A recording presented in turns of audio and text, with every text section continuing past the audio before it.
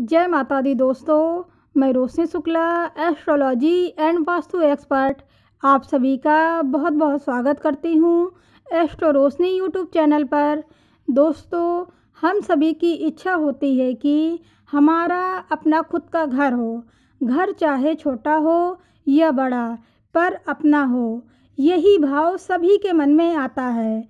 अगर आप भी किराए के मकान में रहते हैं और आपका अपना खुद का मकान बनने का सपना पूरा नहीं हो रहा है तो मैंने एक वीडियो बनाया था, जिसका लिंक डिस्क्रिप्शन में मौजूद है।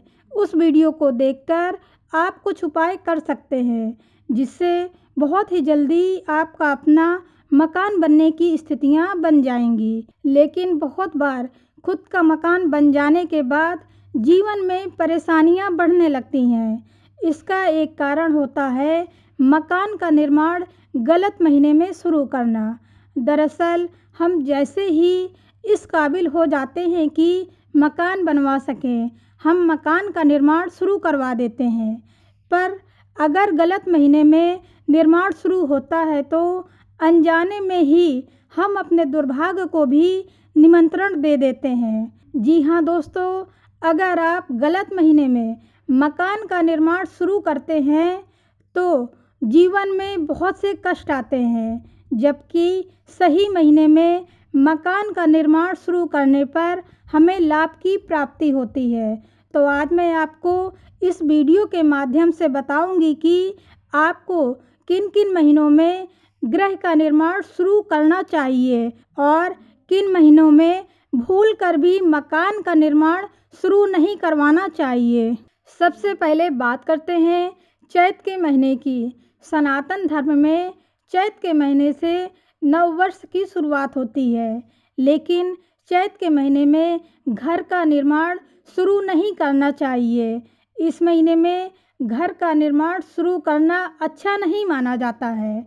अगर इस महीने में निर्माण कार्य शुरू किया जाता है तो शोक और परेशानियाँ उत्पन्न होती हैं। इसलिए चैत के महीने में घर का निर्माण शुरू ना करें। अब बात करते हैं दूसरे महीने बैसाख की। बैसाख के महीने में घर का निर्माण करना बहुत शुभ माना जाता है।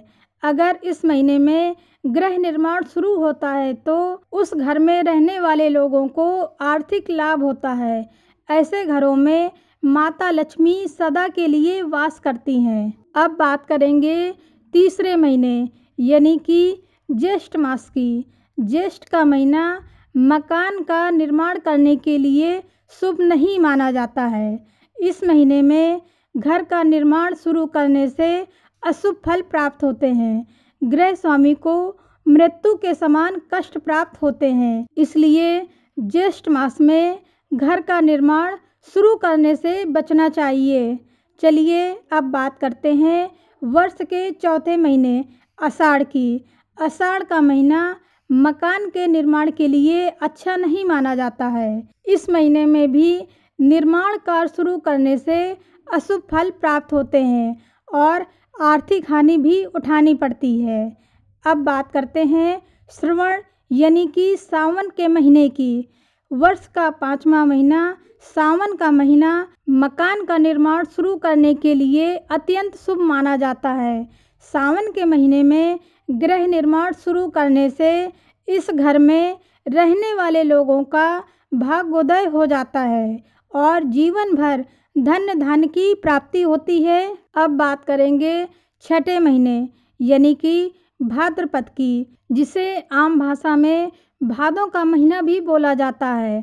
तो दोस्तों भादों के महीने में अगर आप मकान का निर्माण शुरू करते हैं तो ये अत्यंत शुभ फल देने वाला होता है।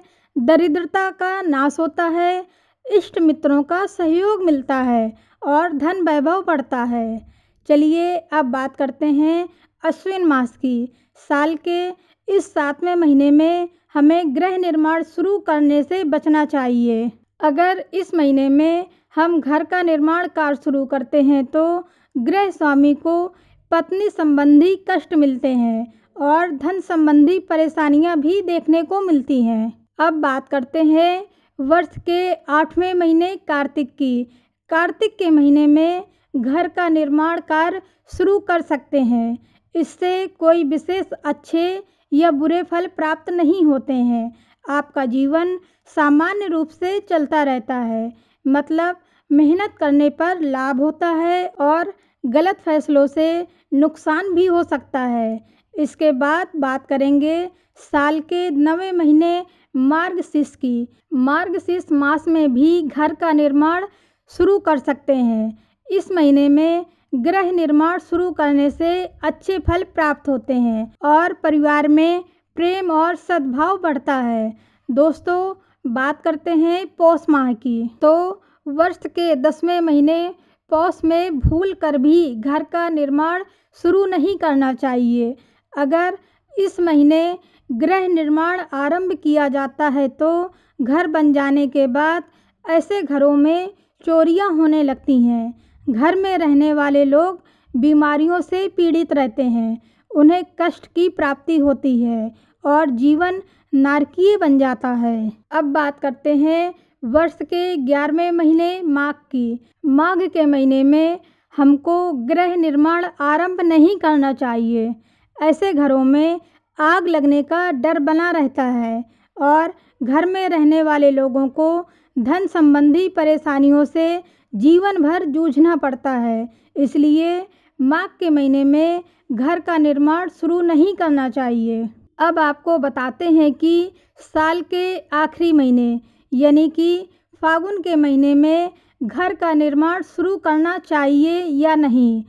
तो मैं आपको बता दूँ कि जब हम फागुन के महीने में गृह निर्माण शुरू करते हैं तो मंगल ही मंगल होता है, आनंद ही आनंद होता है और जीवन में हर प्रकार के सुख के लिए फागुन के महीने में मकान का निर्माण शुरू करना चाहिए। ऐसे घरों में रहने वाले लोग जीवन भर आनंद पूर्वक रहते हैं। तो कुल मिलाकर अब आप समझ गए होंगे कि चैत, ज्येष्ठ, आषाढ़, अश्विन, पौष और माघ के महीने में घर का निर्माण कार्य शुरू नहीं करना चाहिए, जबकि बैसाख, सावन, भादो, मार्गशीर्ष और फागुन के महीनों में मकान निर्माण शुरू करना शुभ फलदायक होता है। इसके अलावा कार्तिक के महीने में मकान निर्माण शुरू करना सामान्य फल देने वाला होता है। तो दोस्तों, आप जब भी मकान का निर्माण कराने का विचार करें तो इन महीनों का ध्यान ज़रूर रखें।